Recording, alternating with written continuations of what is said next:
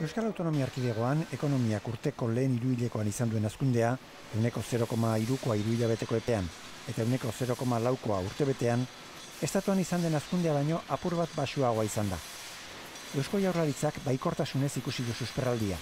2008ko udazkenaz geroztik, lehen aldiz urtebeteko azkunde tasa positiboa izatea. Baina, arantzatapia sailburua, zuhurra izan da balorazioa egitean. Tendentzia aldaketa bai eta alde horretatikan baikortasuna bai, baina oraindikan krisi barruan gaude eta euneko bata gutxienez hasi behar da enplegua sortzeko. Eustatek eman ditu datuak, eta enpleguarenak ere zabaldu ditu. Okerrera egin du. Enplegu gutxiago daude, duela urtebete baino euneko 0,5 gutxiago. Bestalde, manufaktura ekoizpenak azken lau urteetako erritmorik bizienean egindu aurrera Espainian joan den hilean. Hala ere, enpresek erreparoak dituzte langile gehiago kontratatzeko.